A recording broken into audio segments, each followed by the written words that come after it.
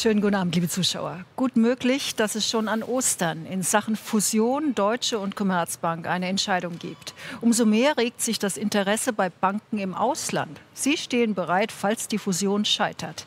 Die niederländische ING Bank habe beim deutschen Staat, dem größten Aktionär der Commerzbank, zudem beim Institut selbst vorgefühlt.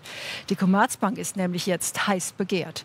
Schon zuvor hatte die italienische Unicredit ihr Interesse bestätigt. Die Deutsche Bank will dagegen keiner. Die Politik weiß das, will die schwächelnde deutsche Nummer 1 unbedingt stabilisieren, bleibt deshalb bei der Idee einer deutschen Lösung. Doch um welchen Preis wird zur entscheidenden Frage. Zur Erinnerung, zu den 42.000 Mitarbeitern der Deutschen Bank in Deutschland kämen fast 50.000 Commerzbankbeschäftigte dazu. Viele Positionen wären doppelt besetzt. Hohe Jobverluste inklusive hoher Kosten für die neue Großbank wären vorprogrammiert.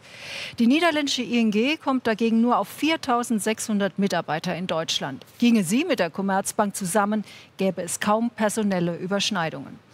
Anders als bei Deutscher und Commerzbank sind sich die Geschäftsmodelle von ING und Commerzbank nicht unähnlich. Ein großer Stamm an Privatkunden, dazu Firmenkunden. Der Fokus der ING aufs Online-Banking, sie besitzt eine starke Direktbank. Die Commerzbank will laut Chef Zielke zur reinen Digitalbank werden. Die Niederländer hätten sogar angeboten, den Firmensitz von Amsterdam nach Frankfurt zu verlegen. Fast möchte man zurufen, worauf wartet ihr noch? Doch weit gefehlt. Commerzbank-Führung und Politik hätten das Anliegen der ING sofort beiseite geschoben. Geschäftsmodell, Finanzkraft, Gewinn. Fast gewinnt man den Eindruck, als spiele dies gar keine große Rolle. Apropos, 340 Millionen Euro Gewinn erzielte die Deutsche Bank 2018. 870 Millionen Euro die Commerzbank. Selbst zusammengenommen wäre dies nur rund ein Viertel des Gewinns, den die ING jetzt schon schreibt. Längst nicht sicher wäre, dass die rein deutsche Großbank überhaupt Gewinn machen würde. Dennoch steht im Raum, nationale Lösung bevorzugt. Den viel beschworenen europäischen Geist sucht man indes vergeblich. Dabei müsste eine neue deutsche Großbank wohl auch noch Kapital aufnehmen über eine Kapitalerhöhung.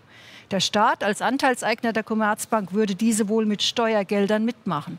Auch dies wäre politisch heikel. Anlegern ist dies alles sehr bewusst. Sie kaprizieren sich nur noch auf eines, auf die Commerzbank als Objekt der Begierde. 13 Prozent hat deren Aktienkurs gewonnen, seitdem sich das Fusionskarussell dreht. Viele Interessenten. Das spricht für einen guten Übernahmepreis, so die Spekulation. Der DAX hat vor Ostern auch einen sehr guten Lauf. Er gewann rund 0,4 Prozent, steht bei 12.153 Punkten. Ein neues Jahreshoch. Auslöser waren heute gute Wachstumsdaten, die eine Erholung der chinesischen Wirtschaft belegen. Wenn es ihr besser geht, könnte dies schon bald der schwächelnden deutschen Exportwirtschaft wieder auf die Beine helfen. Das wäre doch schön. Schönen Abend.